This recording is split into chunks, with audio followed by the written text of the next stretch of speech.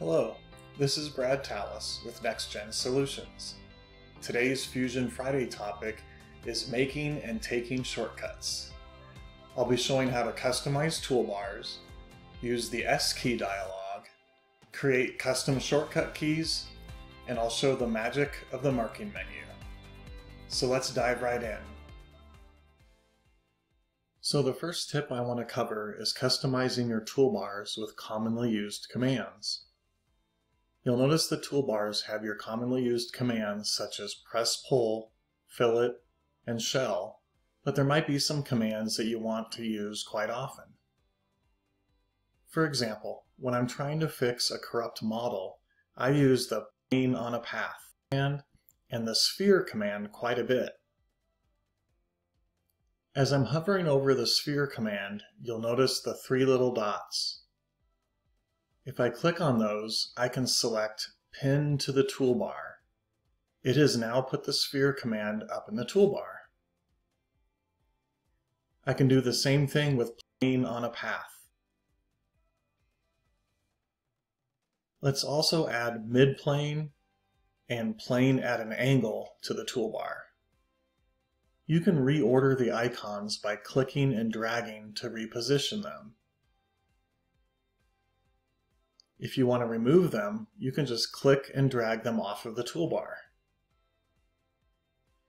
So this is a very quick way to put frequently used commands up into your toolbox. The next tip I want to share is using the S key.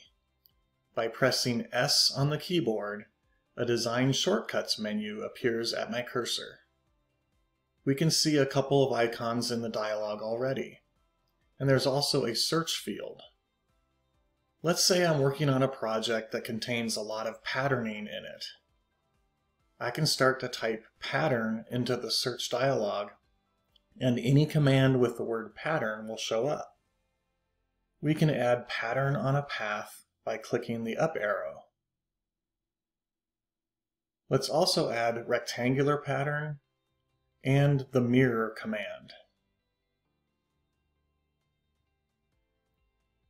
When you press the S key, the dialog appears wherever your mouse cursor is at. By clicking on one of the icons, it will now run that command. Also, you can run any of the commands you find in the search dialog. For example, if I search for appearance, I can click on it to run it. I didn't even have to add it to the dialog. Lastly, you can select the three dots next to any command and choose Pin to Shortcuts, and it will put it into the Shortcuts dialog.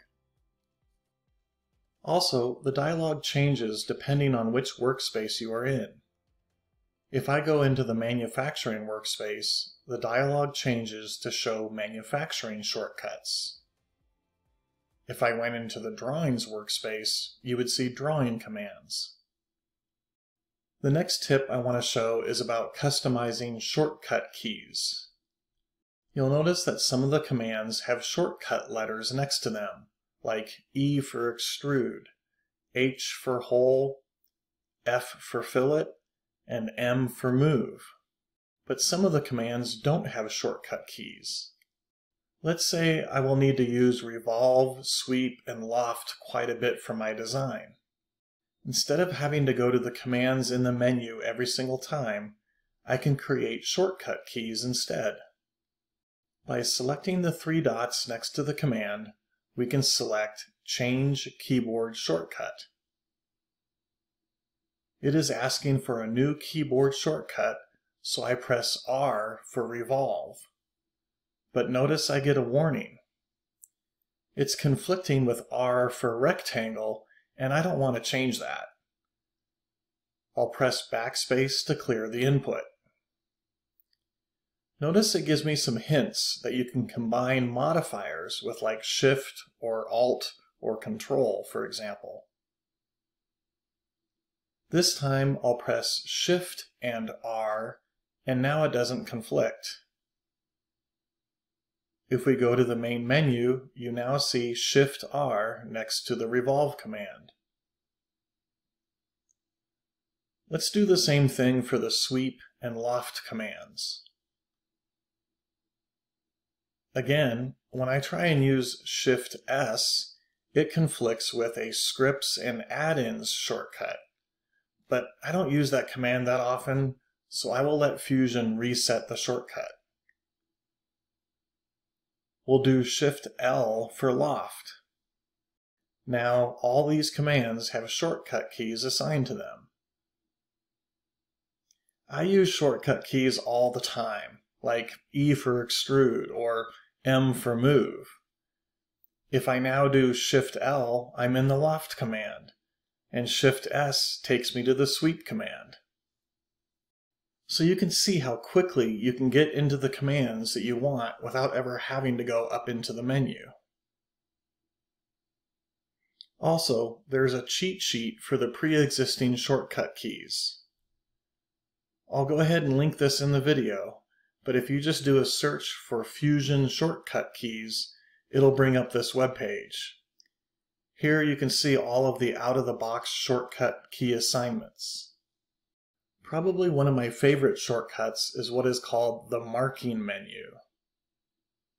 If I right mouse click, a menu appears with a blue radar type section and a pre-selection section. If I pre-select an edge and right mouse click, the marking menu will only show commands that make sense for what you've selected. In this case, it shows fillet and chamfer. If I pre-select a face, the menu changes to show commands that you can do with a face, like sketch or extrude. So depending on what you select, will give you different options when you right mouse click. Going back to the top of the marking menu, you will see there are commands that we can run from the marking menu. For example, at the 12 o'clock position, it repeats the last command, sweep in this example. So in this design, I have a bunch of overlapping surfaces I want to trim back. I'll use the S key to search for trim and run it right from there. I can now select the trim tool and the surfaces I want trimmed. Instead of moving all the way over to the menu and selecting OK, I can just right mouse click and drag to the 3 o'clock position, which is OK. If I right click and drag straight up, it will repeat the trim command for me. Check out how fast this process is instead of constantly having to go over to the menu or selecting trim each time.